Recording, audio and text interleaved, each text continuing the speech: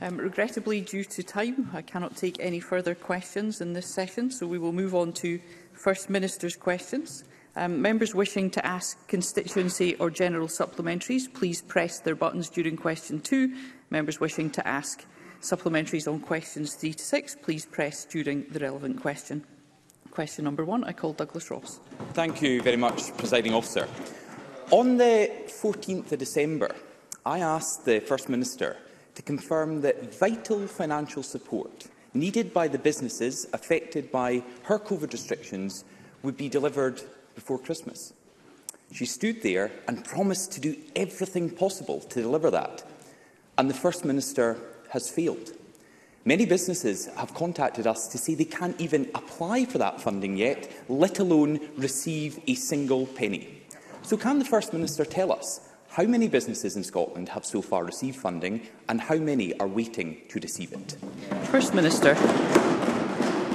Well, this is uh, an important issue for many businesses across the country. Before Christmas, I said, and I repeat again today, the Scottish Government, in partnership with local authorities who are responsible for administering uh, the significant bulk of the funding that we have made available are working to get that money to businesses as quickly as possible. As I'm sure everybody will accept, uh, including, I hope, Douglas Ross, there are some checks that councils have to do to guard against uh, fraud in any businesses, and I'm not suggesting uh, that uh, many uh, would, would try to claim money they weren't entitled to. that process is ongoing for the hospitality strand, for example.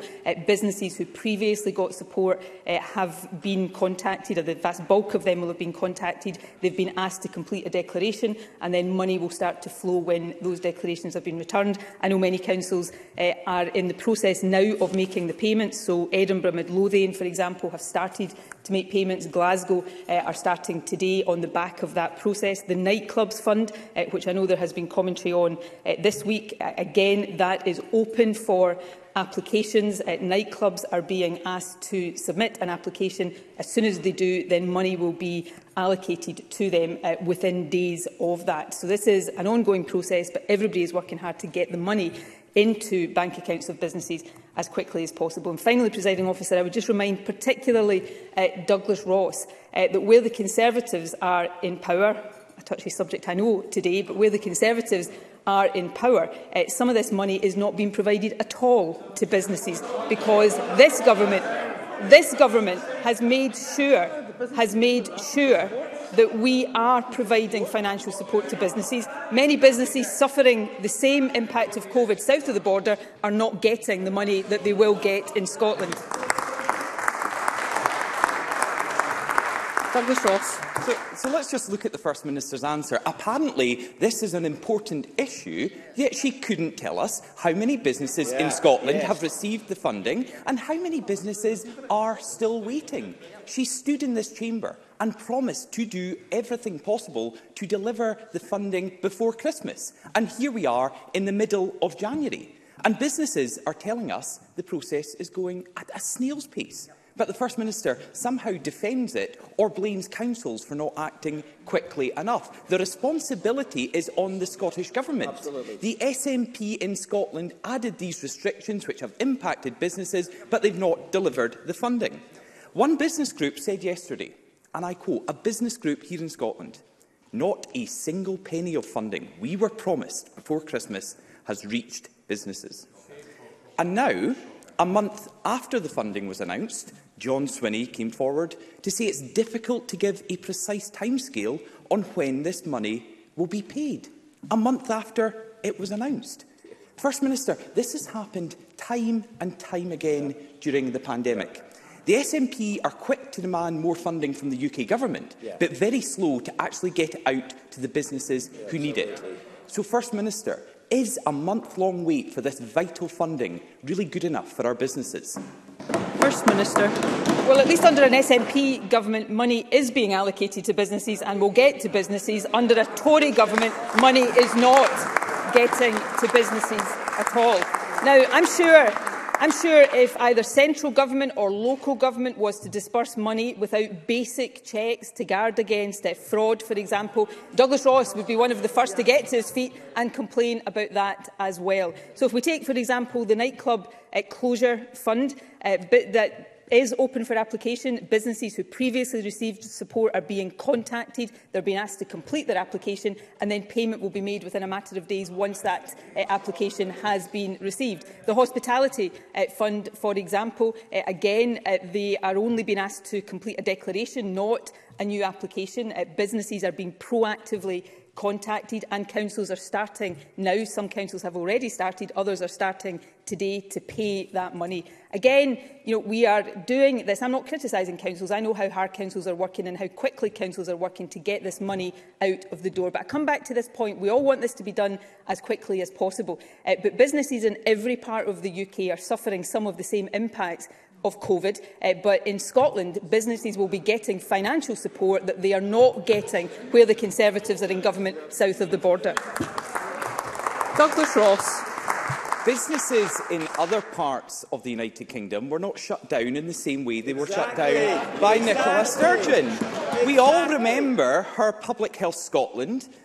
telling people not to go to Christmas parties. The next day, the First Minister came onto TV to confirm that. That's why funding is required yes. here in Scotland, yes. and that's why it was required in December, not the middle of January. Yes. And, and the First Minister said this is because there are basic checks to be made to ensure that money goes to the right people. We can't make the basic checks if in some areas the application process hasn't even opened. This is the problem that businesses are telling us.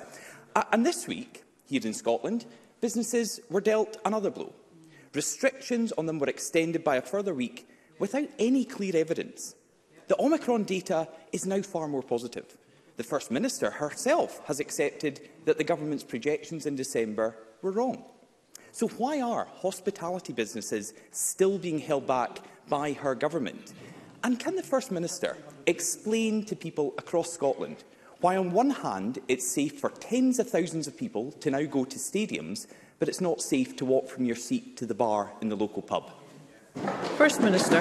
Dearie me, I mean, first of all, I mean, I can't believe Douglas Ross must be the only person in the entire country in the run-up to Christmas didn't uh, hear uh, the howls from hospitality businesses south of the border about the collapse in footfall and the loss of revenue and the dire straits they were in he's standing here trying to suggest that businesses in every part of the UK haven't suffered uh, these COVID impacts.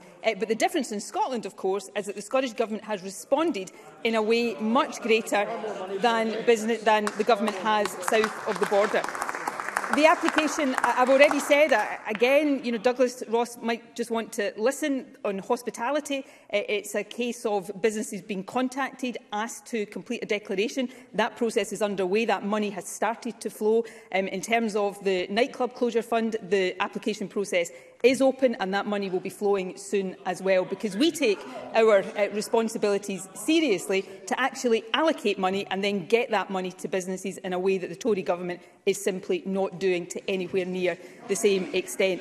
And secondly, the projections uh, before Christmas were not wrong. Uh, what happened is that we didn't just uh, fold our arms and accept those projections as inevitable. Yeah. We took proportionate sensible, balanced action. Uh, the public responded, as they have done throughout this pandemic, magnificently and we were able to change the course of those projections. Um, if Douglas Ross had been standing here, uh, something that I know is hard to contemplate for people in Scotland and even harder for some people in his own party, it seems, uh, but if Douglas Ross had been standing here, is he really saying that he would have not responded to those projections in December? Because if that had been the case, we would be in a seriously, seriously difficult position right now. Because we took sensible action, we are now lifting those restrictions, but we are doing so in a phased and responsible way. And finally, presiding officer, had I followed the advice of Douglas Ross over these past months, uh, we wouldn't have face coverings still being used in Scotland. We wouldn't have some of the mitigations we have in schools. We would not have taken many of the sensible actions we've taken and we'd be in a much worse position than we are in right now. So I'll continue to follow a sensible, responsible course to lead this country as safely as possible through the remainder of this pandemic. Douglas Ross. If the First Minister had listened to me in December, listened to the voices from the Scottish Conservatives, businesses would not be telling her in January that they're not getting the funding that they need. She says I have to listen to her answers. First Minister, please listen to the businesses that are telling you here in Scotland You made a promise to them that you failed to deliver, and they are waiting for this vital funding. This is to protect their businesses. This is to protect jobs. And shaking your head and dismissing what they are saying undermines everything they are trying to do to keep their business alive through the toughest possible time. The First Minister tells us to live with COVID, but then she won't trust the public. She imposes restrictions but doesn't deliver compensation. She says the data on Omicron and COVID is more promising, And then she threatens businesses with a wider vaccine passport scheme. She demands more money from the UK government and then doesn't give it to the businesses here in Scotland. When our economic recovery is so fragile, it simply isn't good enough. First Minister, why are Scottish jobs and Scottish businesses always an afterthought for you and your government? First Minister. And that's just not for the first time from Douglas Ross uh, aren't nonsense. Um, we can't give more money from the UK government uh, to Scottish businesses because we didn't get the more money from the UK government uh, that not just the Scottish Government, uh, but the Welsh Government and the Northern, Northern Irish Government uh, asked for. Uh, we managed to find within our own resources um, additional money so that we can get extra support to Scottish businesses because we do accept how important it is uh, in the face of this ongoing challenge to provide as much support as we possibly can for businesses. So we are in a process right now, Scottish Government working with local government to get that money out of the door into the bank accounts of businesses. And I come back to a central point. That is money that will get to businesses, that counterpart businesses in uh, south of the border will not get, even although they have suffered much of the same impact as businesses here in Scotland are suffering. And I don't know, why. I lose track week uh, on week as to what exactly Douglas Ross thinks we should or, or shouldn't do uh, to tackle COVID. Uh, all I, can, all, all I can conclude is that Douglas Ross's approach to tackling a global pandemic is simply to oppose everything that the Scottish Government tries to do.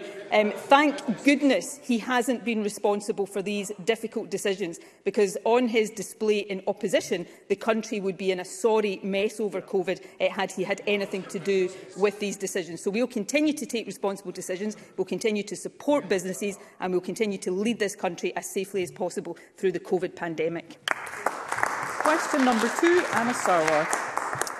Presiding Officer, almost 10 months ago, the First Minister said her focus was on getting the NHS back to normal. Eh, but today, almost two years into the pandemic, things are getting worse and not better. And while I accept Omicron has put more pressure on our NHS services, many of the promises we are facing were avoidable. In September, residents in Lanarkshire were told to expect delayed and cancelled operations as the Health Board was put into code black.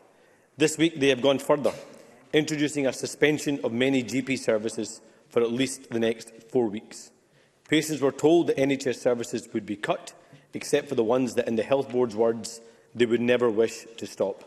This is an unprecedented situation affecting the health and well-being of over 650,000 Scots.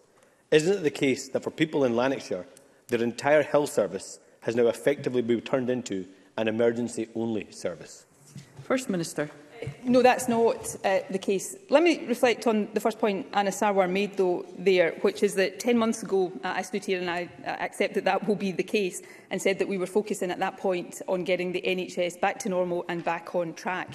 10 months ago, uh, if my memory serves me correctly here, we hadn't uh, had the Delta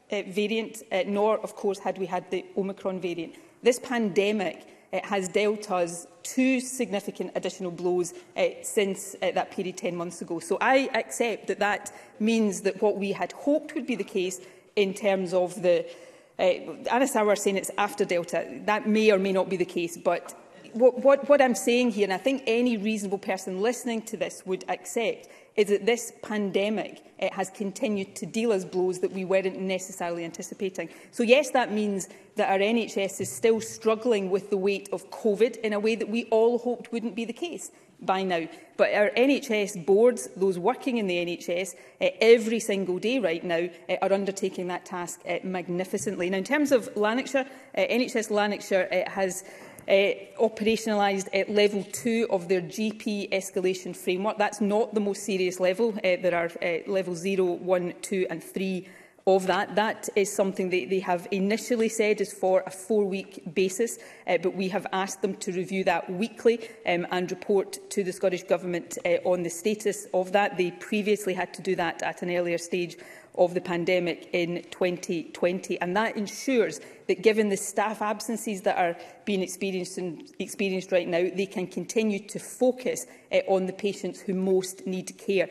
None of us want to be in this position. Uh, we hope we'll be out of this position uh, sooner rather than later, but that involves all of us continuing to take the responsible action to get COVID under control so that we can get our NHS fully back to normal.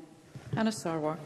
The, the First Minister says that, that that's not the case in terms of emergency-only services, but the previous guidance was, did not include primary care. This now does include primary care. And they have said it's now essentially only protecting what they call never services. And I think it's also important to note that this was after Delta, to what the First Minister says, so we can't say that this is all due to Omicron, because NHS Lanarkshire was warning of pressure last July. Code Black was put into place in October. That was long before Omicron arrived in the UK.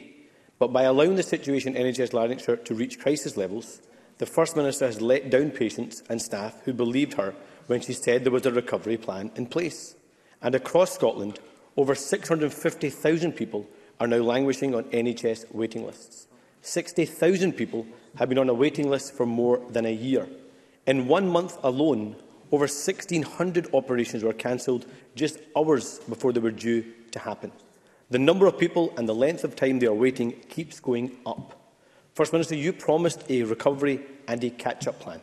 Shouldn't recovery mean that things are getting better, not worse? And shouldn't catch-up mean the waiting lists are coming down, not mounting up? First Minister.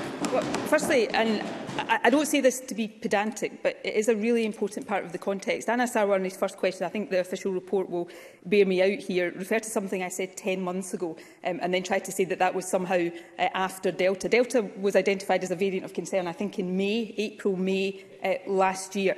Um, and since Delta, which caused significant uh, additional disruption to the health service and society, we've, of course, had Omicron and we've been dealing with that since. So none of us want to be in this position, but I think any reasonable person uh, would realise uh, that that has seriously frustrated the attempts on the part of the NHS, just as it has attempts across wider society to get back to normal. That's the context that we are dealing in. Now, in terms of uh, Lanarkshire, Uh, Anna Sarwar, I think, uh, I think is mixing up uh, two different escalation frameworks. There is the uh, Scottish Government Board Performance Escalation Framework, which he has cited mm-hmm. to me before in the context of the Queen Elizabeth uh, University Hospital. But at the start of the pandemic, uh, the GP escalation framework was also put in place, which goes from uh, level zero to level three. Lanarkshire is currently at level Uh, two, which is uh, the practices may need to request reduced access uh, to some uh, services in order to focus on uh, the most serious patients. That's been put in place in Lanarkshire for a short period. We've asked for it to be reviewed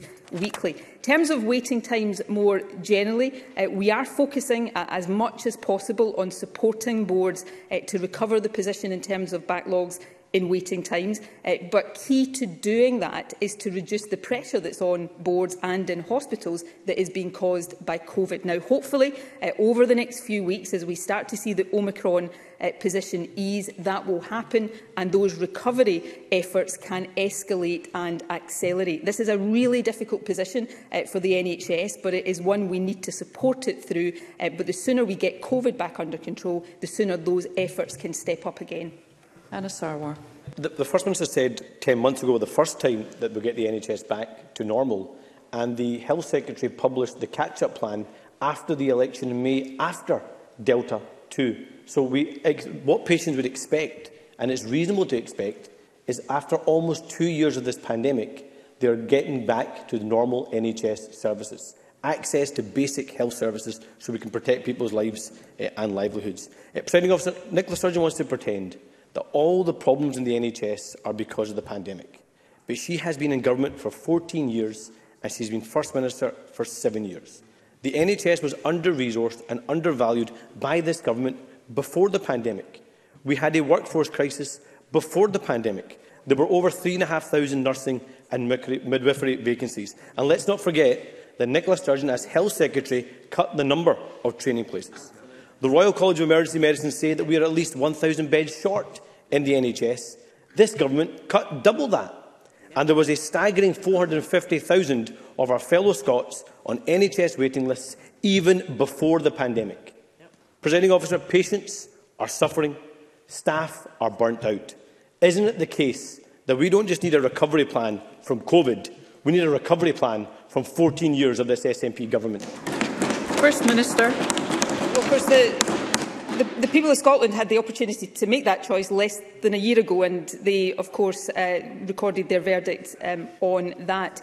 On the issue of Uh, the pandemic impact. I, I don't uh, for a second uh, suggest that all of the challenges faced by the National Health Service are down to the pandemic. Uh, before the pandemic, the NHS was dealing uh, with changing demographics, with uh, the impact of technology. Uh, all of that was putting uh, a pressure on the National Health Service, and we stood here and uh, had exchanges on that then.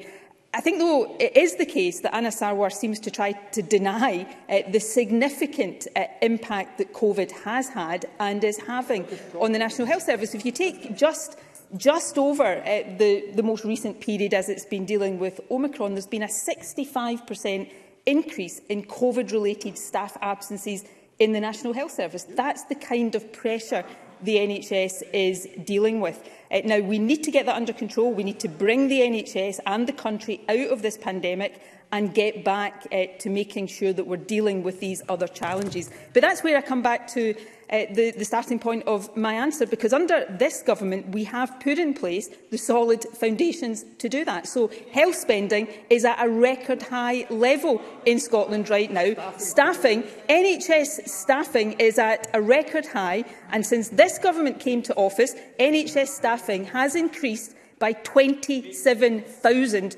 whole-time equivalent staff. So we have put in place those foundations. We need to get through COVID and then we will support our NHS to recover uh, in full and to continue to deliver the services that patients across Scotland need and deserve. We will now move to supplementary questions and I call Audrey Nicholl. Thank you, Presiding Officer. To ask the First Minister if she agrees that the unmasked disdain the UK Government has shown in the last 24 hours for their own colleagues in Scotland, dismissing their Scottish leader as a lightweight makes it crystal clear that Scotland needs to become an independent country so we can escape the sleazy, corrupt and criminal Westminster system for good.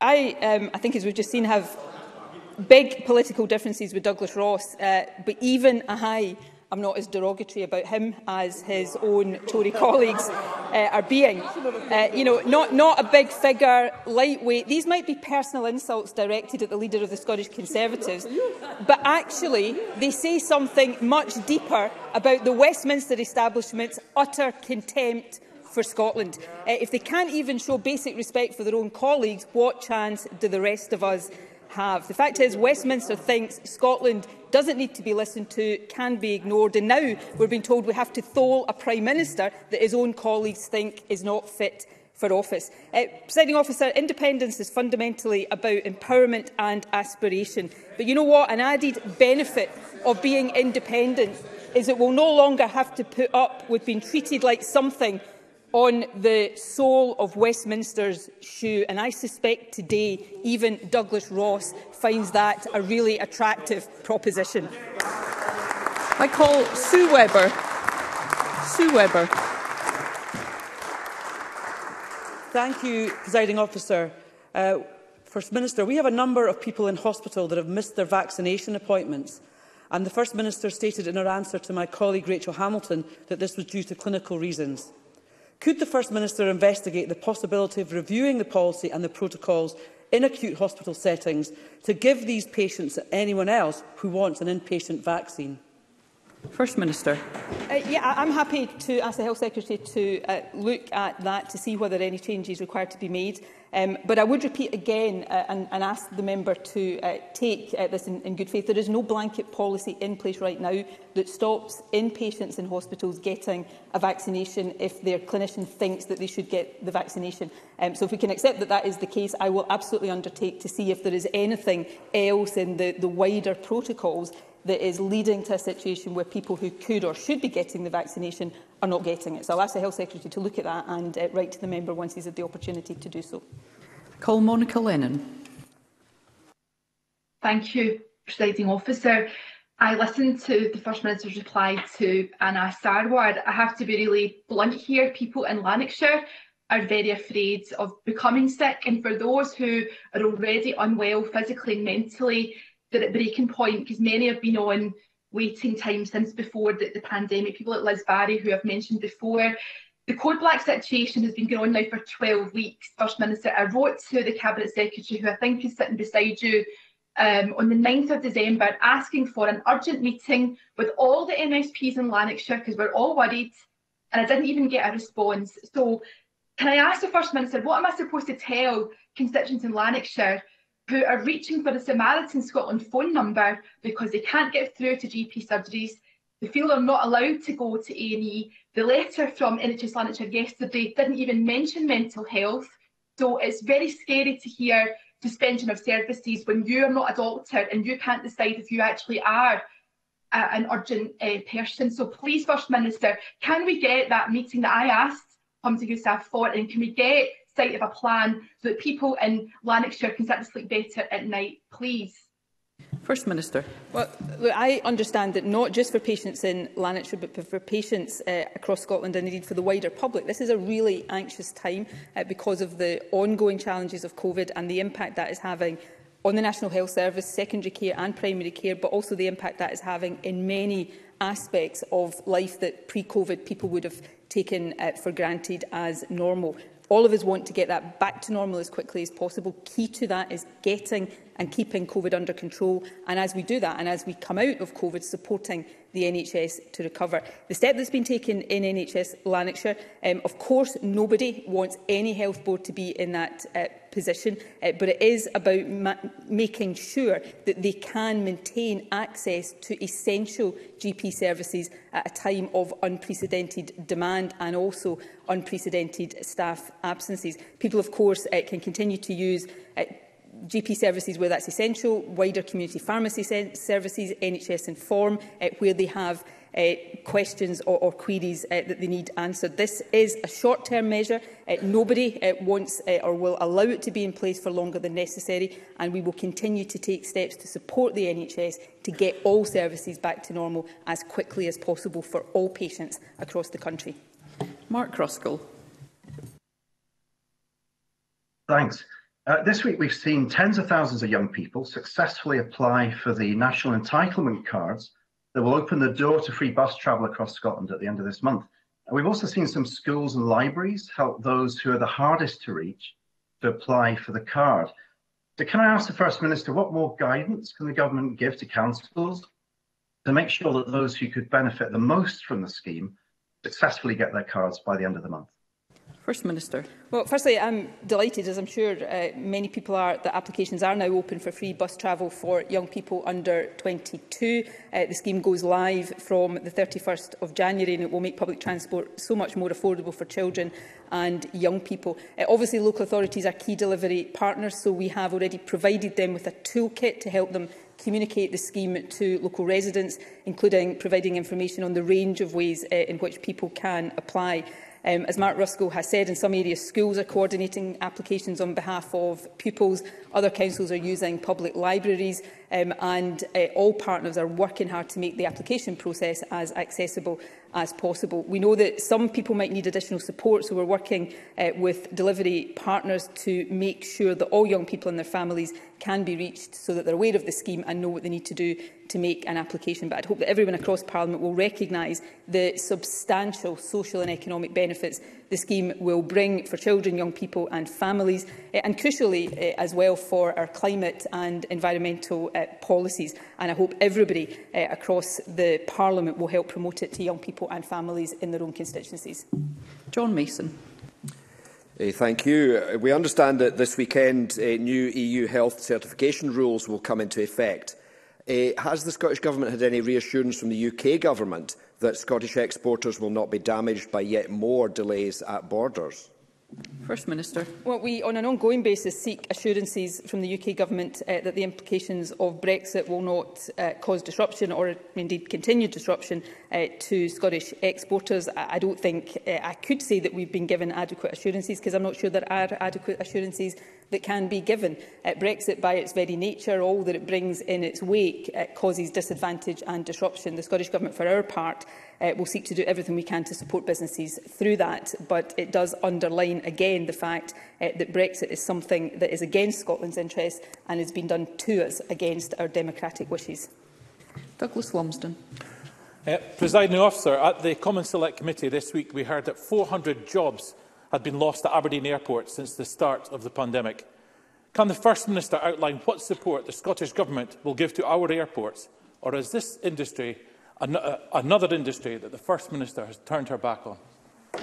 First Minister.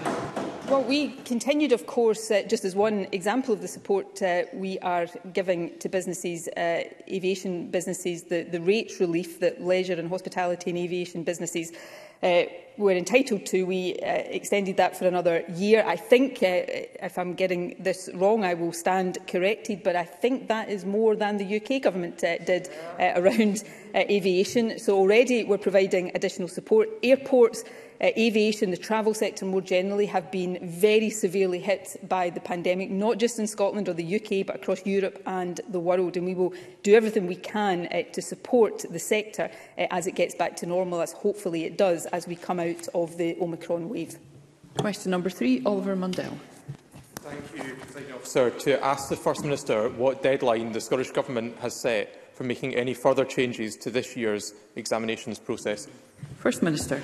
Well, given that we are still living through a global pandemic, contingencies are needed in education as in all other aspects of life. Right now, should any of those contingencies uh, be required and there are two key contingencies in education as far as exams are concerned, then we would obviously notify that as soon as possible. Uh, however, uh, firstly, I hope that is not uh, the case. I hope we don't need to activate uh, those contingencies and as has been clear since August, uh, our firm intention uh, this year is that exams will go ahead. Oliver Mundell.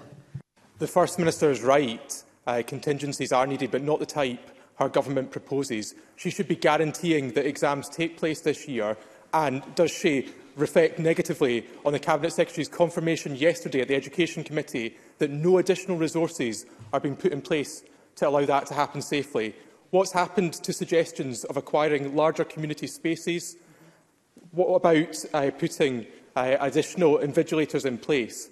And what about one-to-one -one support, most importantly for those young people who've lost out on their learning? First Minister.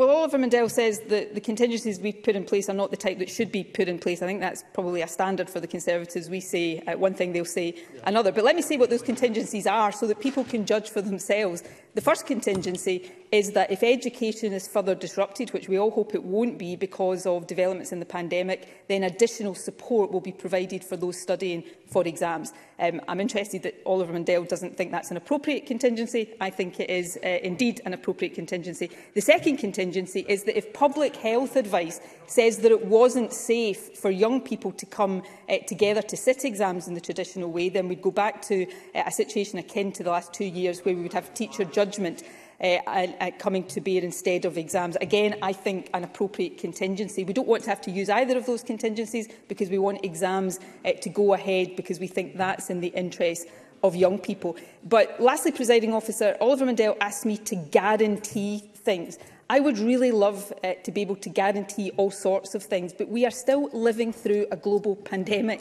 In the last, as we've just um, in my exchange with Anna Sarwar, we've just been reflecting on, we've had two new variants of this in the last few months alone. None of us can guarantee the immediate future uh, in the context of this pandemic, but we make plans based on what we hope will be the case. And right now, that is to allow young people to sit their exams this year as normal, but have sensible and appropriate contingencies in, contingencies in place in case uh, something happens that makes that impossible. Willie Rennie be frank, the Education Secretary has made a right mess of this. She, conflict, she issued two conflicting statements within two days, including making a major announcement on Twitter, which is hardly the forum for such a major announcement. There was, there was such confusion that the SQA had to step in to clarify.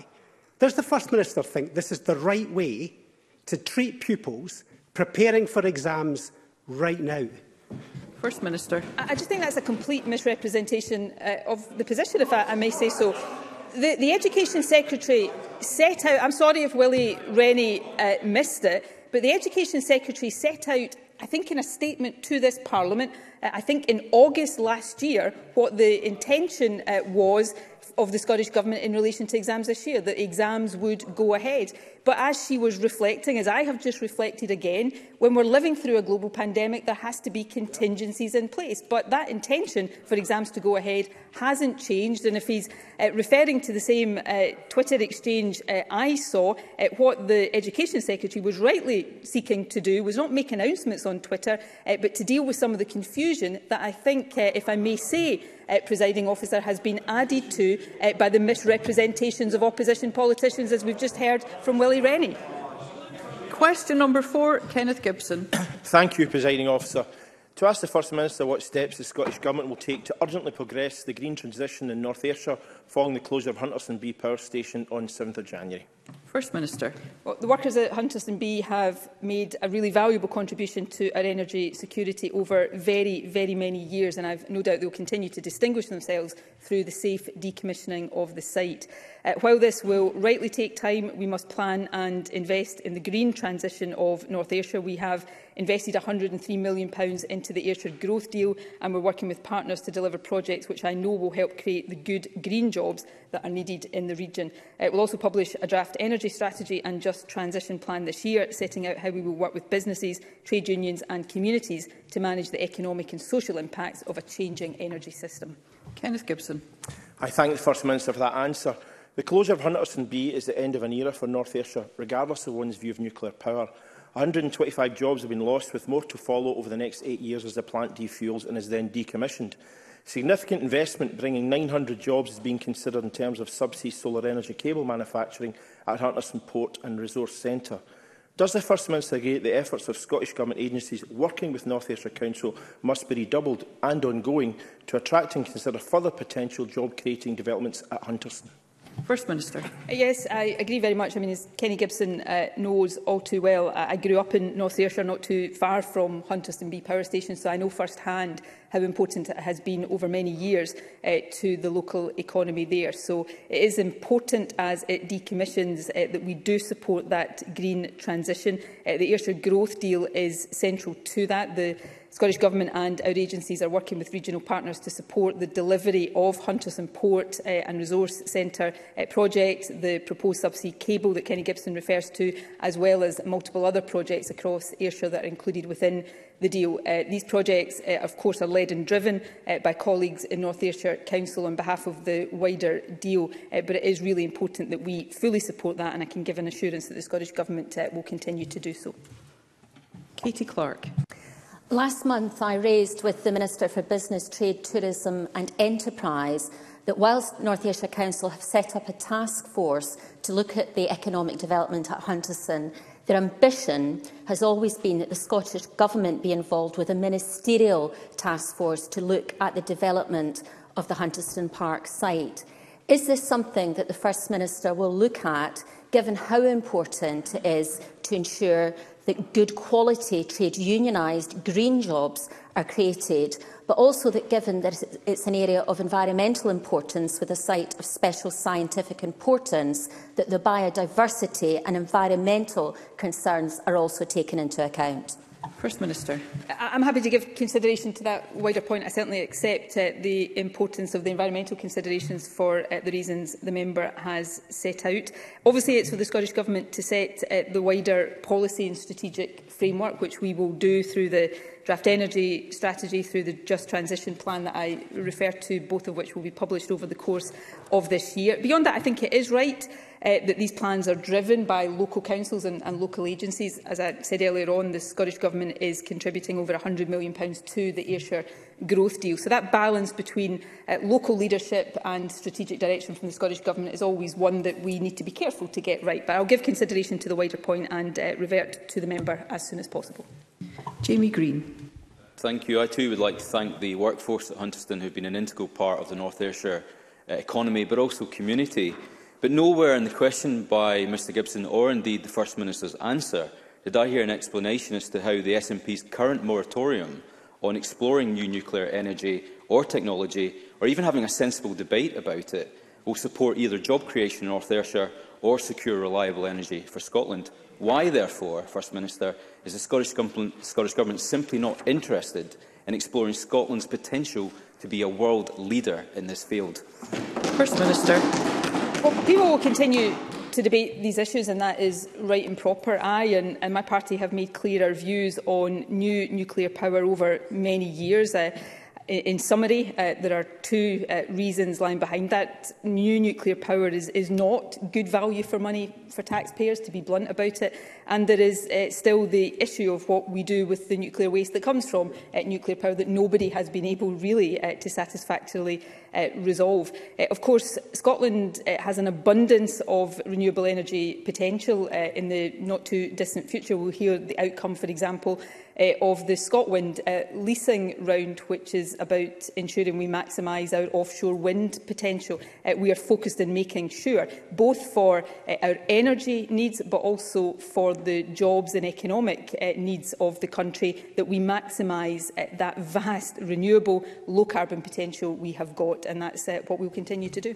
Question number five, Brian Whittle. Uh, thank you, uh, Presiding Officer. To ask the First Minister what data the Scottish Government has collected on the number of people diagnosed with cancer and the stage at which they are diagnosed since the start of COVID-19 pandemic and how this compares with pre-pandemic data. First Minister. Public Health Scotland published latest staging data for breast, lung and colorectal cancers in November last year. Uh, that report showed that the number of people diagnosed at the earliest stage is lower than would have been expected had the COVID pandemic not happened. Uh, however, more recent data shows that more patients are being treated now on an urgent suspicion of cancer pathway compared to the situation pre-COVID. Uh, also, since the start of the pandemic, we have established the first early cancer diagnostic centres and launched public campaigns, including on lung cancer, to raise awareness of the vital importance of early diagnosis. And we've also committed an additional £20 million to the Detect Cancer Early programme. Brian Whittle. Can I thank the First Minister for that answer? But First Minister, I have a friend who's just been diagnosed with an aggressive form of prostate cancer that unfortunately has spread to other areas. He was diagnosed at stage 3, having waited six months for his test. Now, the NHS is under severe pressure, as we're all aware, and this kind of story, I'm sure, is replicated across the country. So collection of this kind of data from non-COVID conditions is critical in planning for what challenges are coming down the track. Today in COVID Recovery Committee, we were told by an adviser that inadequate data is not being collected so make proper to make these proper informed decisions on these matters. So does the First Minister agree with me that data collection and analysis is crucial in forward planning, included for post-COVID planning? And if so, will the Scottish, what will the Scottish Government do to support the development of data collection as quickly as possible to help the NHS as it plans its future strategy? First so, Minister.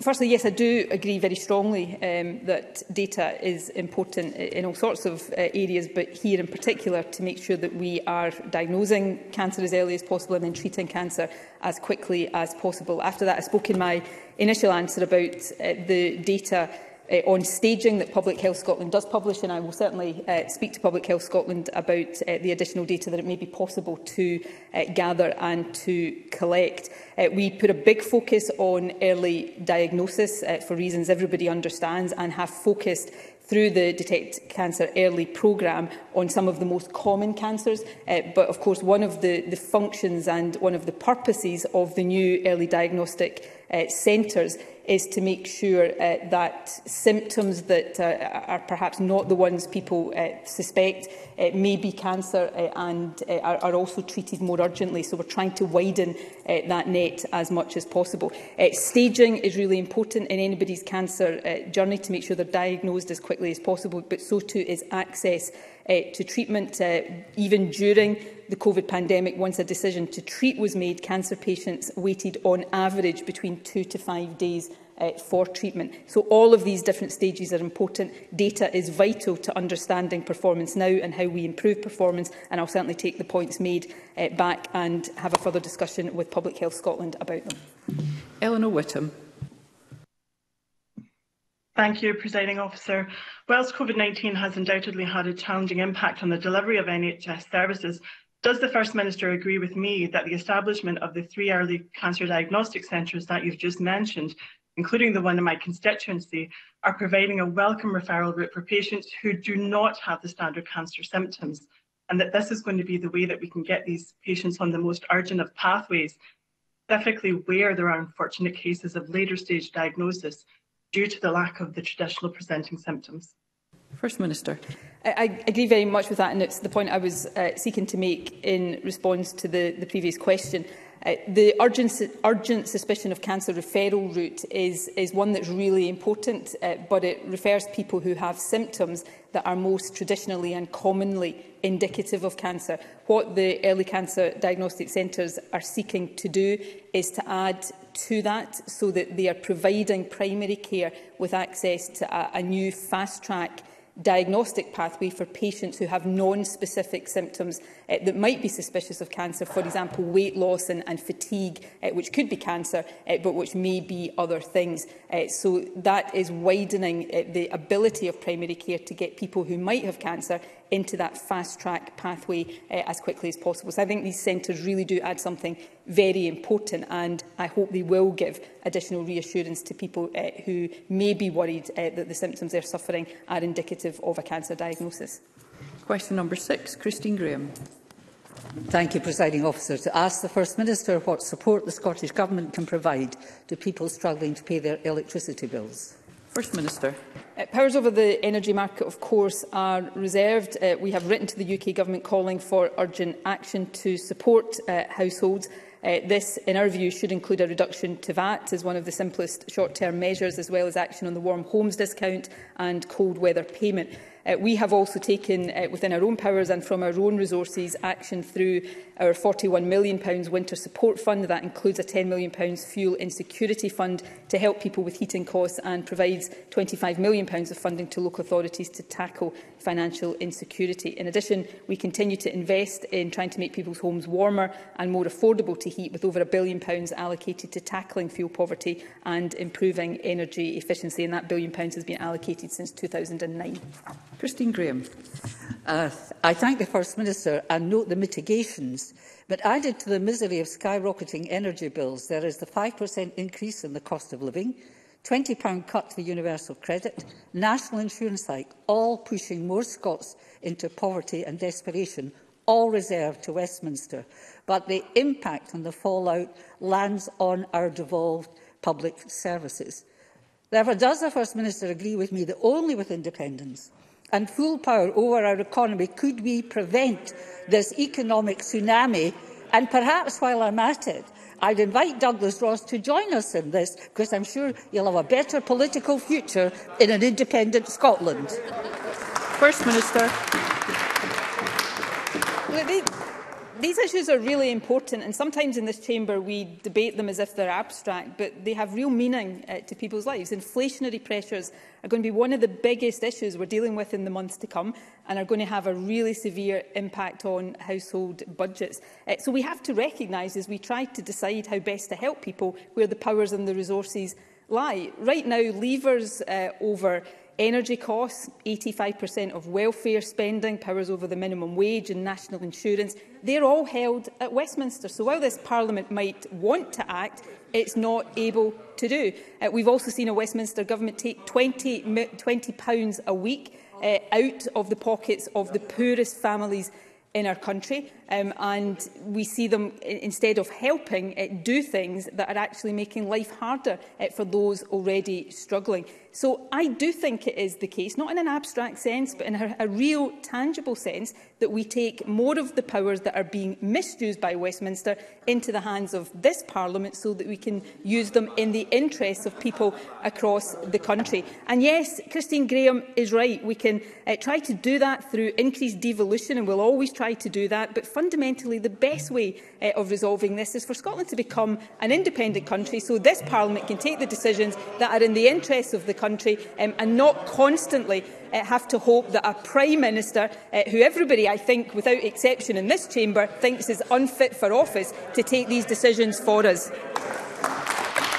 Thank you. That concludes First Minister's questions. There will be a brief pause before we move to members' business.